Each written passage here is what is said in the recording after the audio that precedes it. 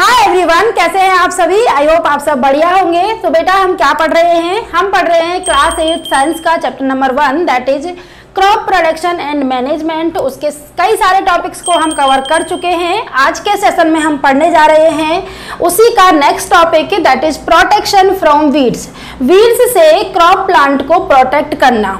अब ये वीड्स क्या होता है?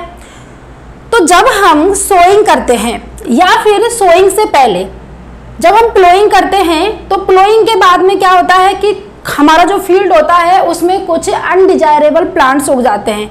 यानी कि जिन प्लांट को हमें ज़रूरत नहीं है, वो प्लांट उग जाते हैं। अब उन प्लांट को निकालना ज़रूरी होता है।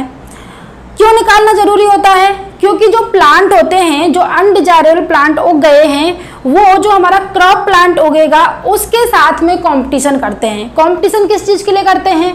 कंपटीशन एयर के लिए मिनरल्स के लिए न्यूट्रिएंट्स के लिए वाटर स्पेस इन सारी चीज़ों के लिए क्रॉप प्लांट के साथ में कंपटीशन करते हैं। अब अगर वो कंपटीशन में रहेंगे तो क्या होगा? कि हमारा जो सॉइल है, उसमें न्यूट्रिएंट्स की कमी हो जाएगी, क्योंकि न्यूट्रिएंट्स किसने ले लिए? जो अनडिजायरेबल प्लांट्स थे, जो अनवांटेड प्लांट्स थे, उन्होंने न्यूट्रिएंट्स ले लिए। तो क्या होगा? जो हमारा मेन क्रॉप प्लांट है, उसके लिए न्यूट्रिएंट्स वाटर स्पेस एयर इन सब की डेफिशिएंसी हो जाएगी और उससे होगा क्या? उससे होगा ये कि जो हमारा क्रॉप प्लांट है, वह अच्छे से ग्रो नहीं कर पाएगा और जो हमारे फार्मर की जो ईल्ड आएगी, वह क्या हो जाएगी? कम हो जाएगी। ईल्ड क्या हो जाएगी? कम हो जाएगी। तो इसलिए उन अनडिजायरेबल प्लांट्स को निकालना बहुत ज़रूरी होता है। ठीक है? तो कभी कभी ये भी होता है कि जब हम सोइंग करते हैं एक तो मैंने बताया कि प्रोइंग के बाद में अनडिजायरेबल प्लांट्स उग जाते हैं तो उनको उसी टाइम पर निकाल देना चाहिए सोइंग करने से पहले। लेकिन कभी कभी क्या होता है कि हमारे सोइंग करने के बाद भी मतलब हमने पहले तो निकाल दिया, लेकिन जब हम सोइंग करेंगे और हमारे क्रॉप प्लांट उगते हैं ग्रो करते हैं जर्मिनेट होते हैं, उन्हीं के साथ में और कुछ अनडिजायरेबल प्लांट्स भी उग जाते हैं।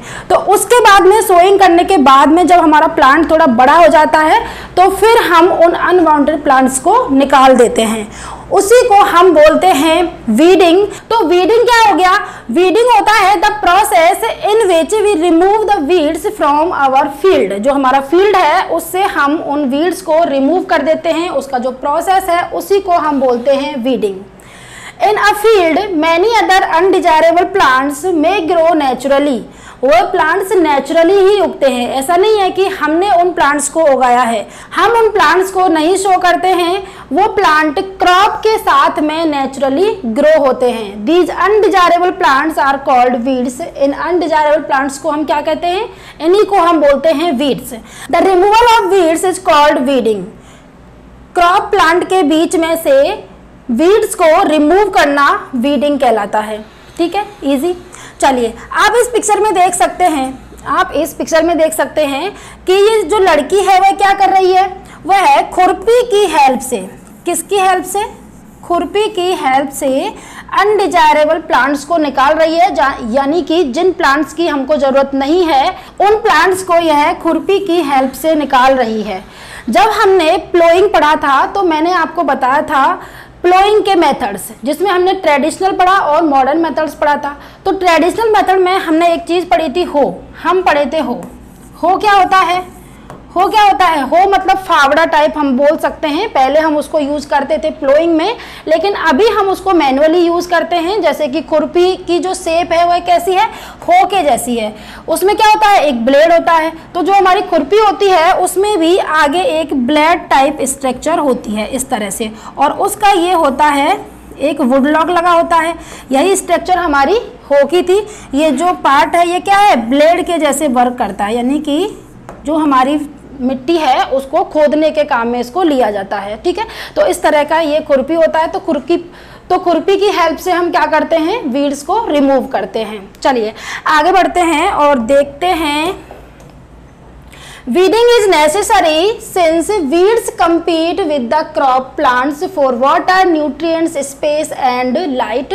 जैसा मैंने आपको बताया था कि वीडिंग बहुत ही ज़रूरी है क्योंकि जो अनडिजायरेबल प्लांट है जो वीड है वह हमारे क्रॉप प्लांट के साथ में कॉम्पीट करता है किस चीज़ के लिए करता है water nutrients space and light के लिए thus they affect the growth of crop और इसलिए वह जो क्रॉप है, उसकी ग्रोथ को बहुत ज़्यादा अफेक्ट करते हैं, उससे हमारा जो ईल्ड है, वह कम हो जाता है।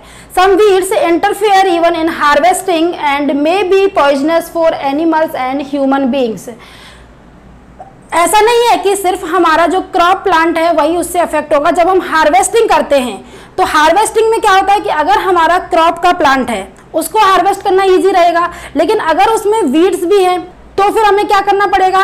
पहले उन वीड्स को हटाना पड़ेगा और उसके बाद में जो हमारे क्रॉप के प्लांट्स हैं, उनको अलग से निकाल के रखना पड़ेगा। तो हमारी मेहनत थोड़ी ज़्यादा हो गई।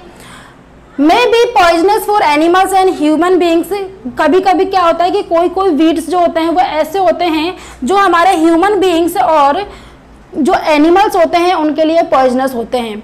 तो जब हम हार्वेस्टिंग करते हैं। जब हम हार्वेस्टिंग करेंगे आगे तो उसमें क्या होता है कि जो हमारे सीड ग्रेन्स होते हैं, उनको अलग रख लिया जाता है, लेकिन जो हस्क होता है, उसको हम अलग रखते हैं, जो कि हमारे फॉडर के काम में आता है, जो हमारे गाय भैंस वगैरह होती है, वो उसको चरती है।